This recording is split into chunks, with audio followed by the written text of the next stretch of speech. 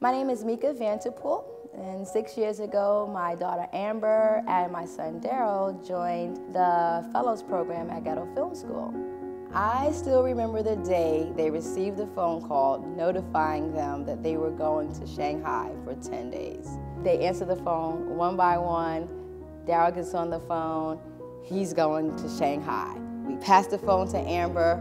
She's going to Shanghai. Absolutely insane. It was so exciting. One of the most memorable moments of their entire childhood. Don't think I can ever fully express the gratitude that I feel towards GFS for the opportunities that they created for Darrell and Amber. They believed in my kids. They poured everything that they had into them. Now, Amber is a senior at the New School, and Darrell is pursuing his passion as a freelancer in the filmmaking industry.